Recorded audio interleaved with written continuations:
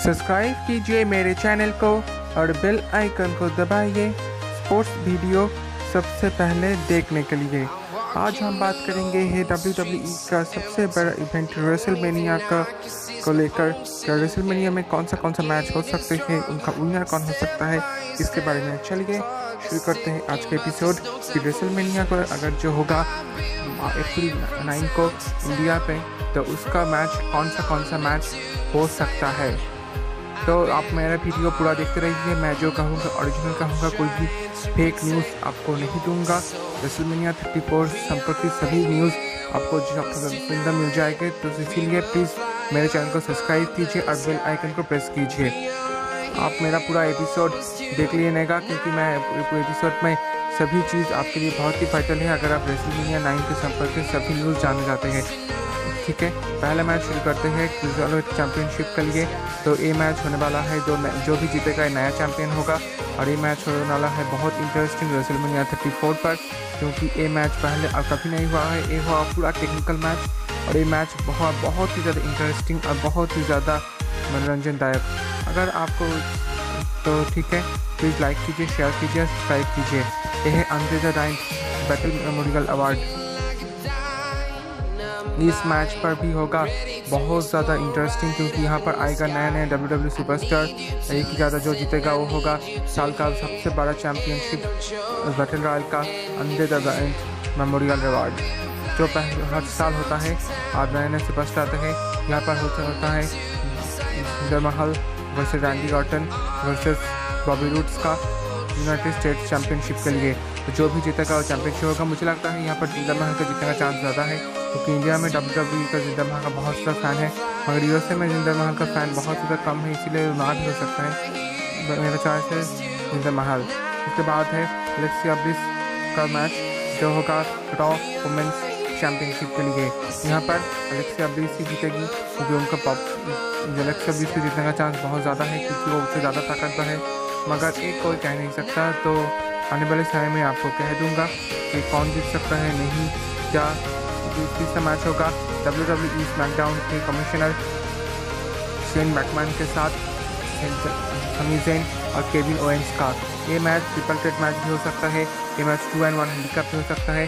और पिछले हफ़्ते जो समी जैन और केविन ओवेंस ने शेन मैकमैन के ऊपर जो अटैक किया था, उसके बाद मुझे लगता है ये एक टीम मैच ही होगा। दूसरी बात करते हैं स्मैकडाउन टैग टीम के लिए। यहाँ पर होगा एक tag team championship New Day रूसोज and बे वाइट के दो भाई के बीच लड़ाई हो सकती है। ये टैग टीम होगा। अभी तक कोई फैसला नहीं सुना गया। इसीलिए ये कोई ठीक नहीं है, मगर मुझे लगता है ट्रिपल के टैग टीम हो सकता है और एक फोर्थ टैग टीम हो सकता है उन दूसरे साल की तरफ़। यहाँ पर होगा इंटरकॉन्टिनेंटल चैम्पियनशिप के लिए। The Miz and the and only Finn bagger के साथ। तो यहाँ पर तीनों ही सुपरस्टार बहुत ज़्यादा ताकतवर है, मगर मीज मीज का जीतने का चांस मुझे लगता है बहुत ज़्यादा कम है। यहाँ पर जिंदर यहाँ पर समी जैन का सॉरी सॉरी सॉरी से टॉलिंग से जीतने का चांस बहुत ज़्यादा है। यहाँ पर होगा वुमेंस मैच वुमेंस डिवीज़न का मैच यहाँ पर सासा बैंक्स और वेली का मैच होगा। यहाँ पर मुझे लगता है सासा बैंक जीतेगी, क्योंकि वो ज़्यादा मुझे अच्छी लगती है। ठीक है, एक समय ही बताएगा इसके बाद आता है रॉ का सॉरी डब्ल्यू डब्ल्यू का पहला वुमेंस रॉयल रंबल ये होगा Andre the giant battle memorial की तरह थी। ये पिछले हफ़्ते रॉ में घोषणा किया गया था। सबलस ये होगा बहुत ही ज़्यादा इंटरेस्टिंग मैच द सबलस मेमोरियल ठीक है। उसके बाद आता है एक नया मैच की तरफ़। यहाँ पर रॉक टीम सामना करेंगी। यहाँ पर बाउंस समन की तरफ़। यहाँ पर बाउंस समन का पार्टनर निकल नहीं किया गया था। मुझे लगता है ये पार्टनर नहीं होगा। ये टू एंड वन हंडी का मैच होगा। मगर ये दोनों ही बाउंस समन के काफ़ी बहुत ज़्यादा कमज़ोर है। कि जो भी टीम आ जाए बाउंस समन आसानी से मसल देगा। क्योंकि है वो सभी मैच होगा वुमेंस बैटल रॉयल के चैम्पियन के साथ स्टारलिंग का।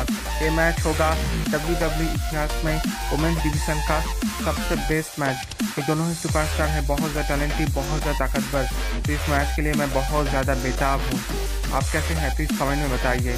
उसके बाद होगा the special match the female दो ओलंपिशियन गोल्ड मेडलिस्ट के साथ हस्बैंड वाइफ का मैच मतलब कार्ट अंकल के साथ ट्रिपल एट का मैच स्टेफनी मैकमान के साथ उनका मैच तो ये बहुत ज़्यादा इंटरेस्टिंग मैच होने वाला है डब्ल्यू इतिहास में।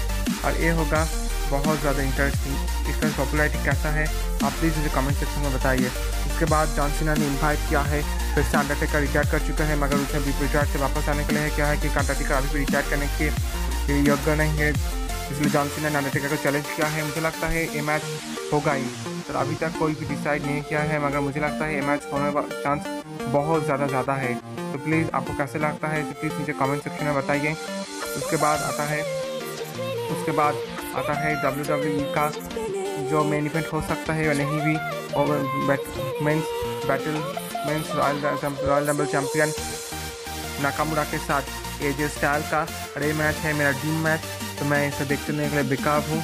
अभी दूसरा मैच आने वाला है, जो होगा डब्ल्यू डब्ल्यू का मेन इवेंट हो सकता है रेसलमेनिया थर्टी फोर पर, वो है Brock Lesnar Roman Reigns Roman लगा गया है एडिक्शन का। ट्रक का एक केस मगर एक कैसा है मुझे पता नहीं, ये मैच होगा भी, ये पता नहीं। मगर मैं दुआ करता हूँ, ये मैच हो, क्योंकि ये मैच हो बहुत इंटरेस्टिंग में थर्टी वन के बाद। तो नमस्कार दोस्तों, अगर आपको वीडियो पसंद आया हो तो प्लीज़ लाइक कीजिए सब्सक्राइब कीजिए और शेयर कीजिए, और बिल आइकन दबाना मत भूलना, और कमेंट कीजिए। थैंक यू तो आपसे मुलाकात होगी फिर से एक नए वीडियो को लेकर।